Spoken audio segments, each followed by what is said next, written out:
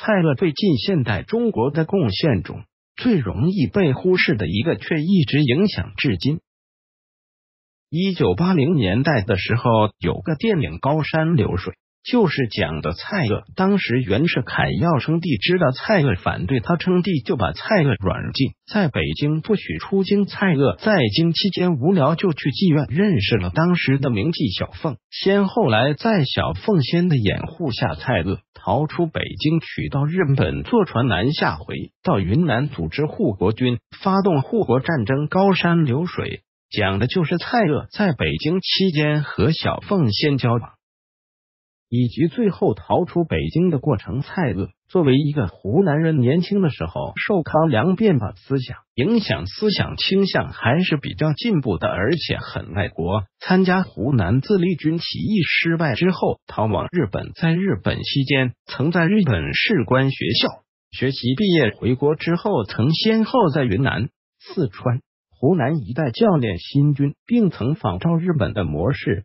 在各地创办陆军小学、陆军中学等，培养具备现代陆军素质的基层军官。因此，蔡锷虽然年龄并不大，但是在民国初年的西南地区声望很高。其中的主要原因就是辛亥革命，在各地的主力都是新军，不少新军的基层干部都是出自蔡锷创办的陆军小学。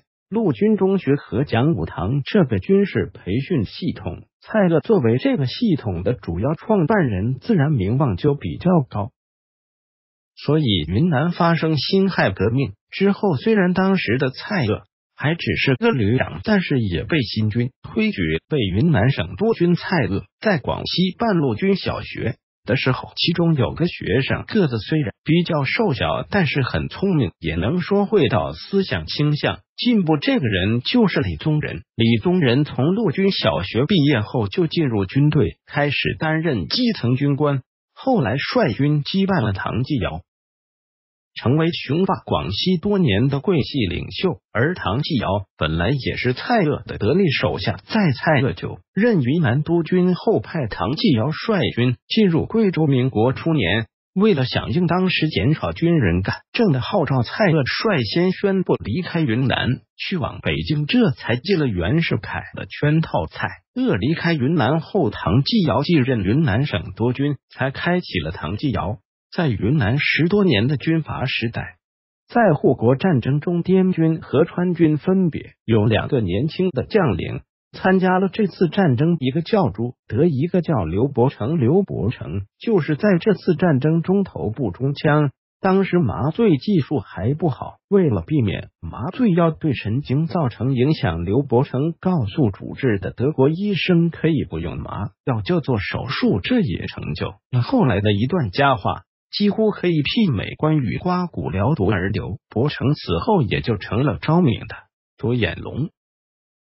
蔡锷在云南省督军任上的时候，还干了一件应该被后人铭记的事，就是他和时任四川省督军的尹昌衡联名致电袁世凯，请求率军入藏，维护国家统一西藏。自一九零七年开始搞维新改革，但是成效并不明显。张印堂曾经请求清廷派一千五百名川军新军进驻拉萨，维护国防抗衡。当时已经两次入侵过西藏的英印军队，但清政府却没同意。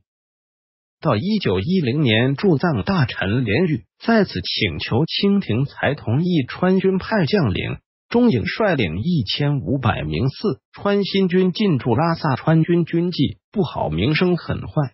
在进入西藏后，很快就和当地民众发生对立。辛亥革命发生一个月后，驻藏川军才从英国人的报纸上知道了内地已经发生革命的消息。于是，驻藏川军内部的袍德会组织也发动革命，围困了清廷的驻藏大臣连宇。宣布西藏革命之后，钟颖被任命为西藏督军，但驻藏川军内部很快就发生了。分裂和内斗一方支持连玉，一方支持中影，闹得不可开交。连玉一方找来当时的藏军给自己当援军，结果藏军到来后，分别将驻藏川军包围，要求川军缴械投降。当时滞留在印度不肯回藏的十三世达赖看到清廷灭亡，民国初建。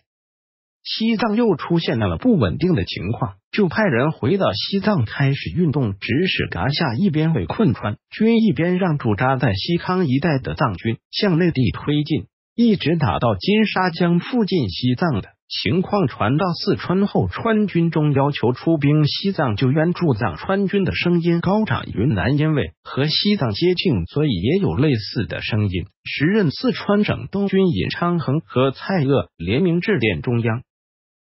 要求出兵援藏，袁世凯同意后，尹昌衡指挥川军和蔡锷指挥的滇军分别从四川和云南两个路线向西藏进军，连战皆捷，一直进逼到昌都附近。但最后因为十三世达赖主动勾结英国，英国向袁世凯施压迫，使川滇联军停战退兵。而在这之后，英国人支持十三世达赖。回到西藏，提出了独立诉求，和中央派来的代表进行谈判。